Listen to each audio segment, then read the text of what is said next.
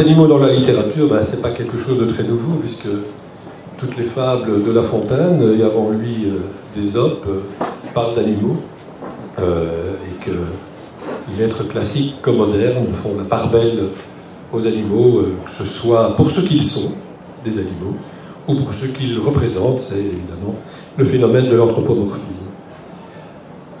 Dans la littérature contemporaine, il y en a toujours, hein, avec l'affaire des animaux de George Orwell, vous vous rappelez les Watership Down de Richard Adams, euh, pour revenir, pour aller retourner un peu plus loin, le livre de la jungle de Kipling, Moby Dick de Melville, euh, et puis euh, L'homme qui murmurait à l'oreille des chevaux, Nicolas Evans, ou de l'année passée, Elle pour ma belle de Hélène MacDonald, qui est une, qui met en scène une jeune fille qui élève un faucon pour retrouver le sens de la vie. Il était dès lors un peu évident pour vous de mettre des animaux en scène On commence par Charlotte. Euh, oui, mais je me rends compte que non. En fait, en, essayant de réfléchir tout à l'heure à, cet intitulé bizarre, me qu'est-ce que je vais pouvoir raconter? Euh, Parce que les animaux ne sont pas toujours nos amis. Euh, oui, c'est vrai, mais on est, rarement les leurs. Et, et moi, j'ai des animaux dans quasiment tous mes récits euh, même, il me semble, ma trilogie fantasy, il y a des animaux. Euh, récemment, j'ai écrit pour l'anthologie des, des, Imaginales une nouvelle qui s'appelle euh, Les voix des renards pâles, donc qui parle de, de Fennec doué de capacité de divination dans un monde où c'est assez, assez rare de voir des, animaux magiciens. Et puis le dernier ours, effectivement, oui, il y a, euh, dans Le Dernier Ours, donc, euh, qui est un, thriller d'anticipation. Euh, donc je parle du dernier ours né libre, Anuri, et en fait Anuri est un, un des personnages principaux de mon roman. alors à la fois, comme disais, sur le fait que ce soit des... Je ne sais même plus ce que tu disais, sur les animaux qui étaient représentation et symbole. Et en fait... C'est l'anthropomorphisme dont je parlais. Ah oui, alors là, non. Enfin, l'anthropomorphisme, en même temps, c'était encore un autre débat, c'est un peu particulier l'anthropomorphisme, mais en tout cas, il est là en, tant que personne, parce que pour moi, les animaux sont aussi des personnes. Et, euh, là, en l'occurrence, c'est vraiment, euh, c'est vraiment une des deux, figures principales du, récit, euh, puisqu'en fait, c'est quand même l'idée, au, départ, c'est comme de sauver sa peau. On va rappeler pour ceux qui n'ont pas lu, Le Dernier Ours, c'est un, ours qui se trouve dans un zoo euh, avec une soigneuse qui s'appelle Keren. Il est le dernier ours qui est né hors captivité et Keren en a marre euh, de voir comment les, autorités de ce zoo traitent cet animal, euh, lui font subir des expériences, elle le libère, elle va avec lui jusqu'au Grand Nord. C'est ça? En gros. En gros. En gros, c'est ça. Disons que à partir du moment où ils ont suffisamment d'ADN, d'anurie pour, pour, bah, pour, faire des, clones, pour créer des clones, et même les.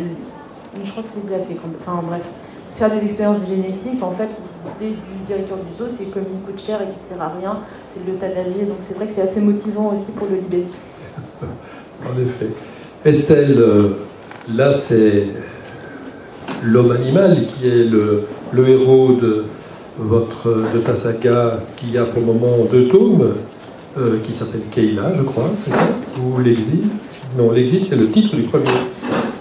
Voilà, la saga, c'est Kaya Marshall. Oui, effectivement, là, c'est plus la, transformation. Donc, euh, racontons l'histoire aussi. Allez, Estelle, mais vas-y, raconte un peu quelques mots. Kayla est une héroïne vosgienne, déjà, je tiens à le dire. Hein. Si, je ne le dis pas ici, je ne sais pas quand est-ce que je le dirai. Euh, elle a 18 ans et elle est issue euh, donc, d'une meute de loups on va dire, de morse. Elle a grandi euh, vraiment euh, dans, une meute assez sectaire, très conservatrice. Elle a été élevée par son grand-père, toujours dans cet esprit. Sauf que, contrairement aux siens, elle n'est pas capable de se transformer, ce qui est vu euh, comme une faiblesse. Elle se fait persécuter par les siens et donc exilée. Et là, elle doit partir, découvrir un peu le monde et affronter la réalité. Par là, j'entends surtout les gens je pense, qu'il est dur aussi dans la vie, c'est de savoir à qui se fier. Et c'est ce qu'elle va devoir déterminer en fait au cours de son aventure.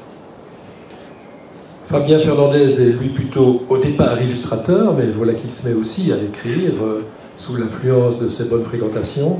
Et euh, donc dans Cœur sauvage, euh, il y a une présence animale.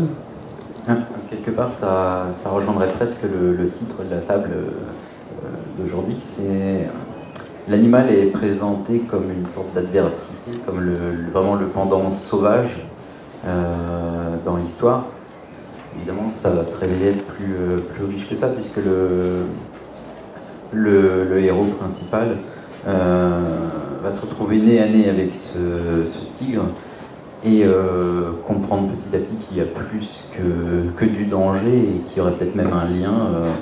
et là, on part sur des histoires un peu chamaniques. D'accord.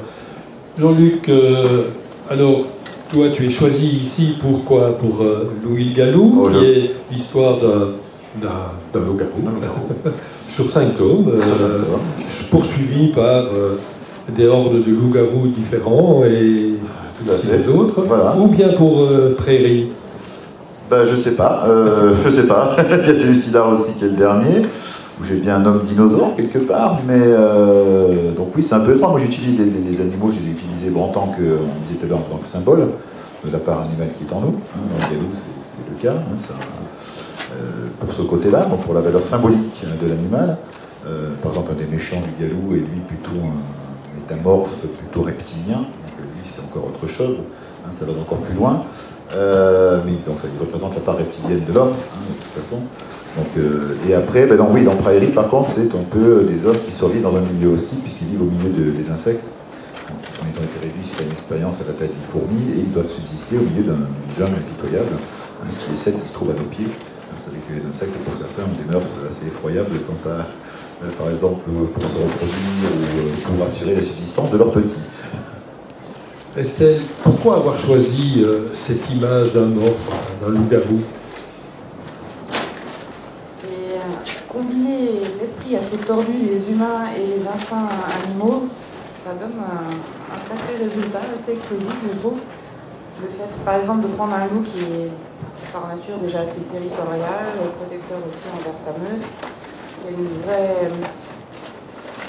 vraie, euh, organisation dans la meute, et combiner avec ça euh, l'esprit humain qui lui va chercher à comploter, à, acquérir euh, du, territoire aussi. Je trouvais ça très intéressant en fait justement de développer ça.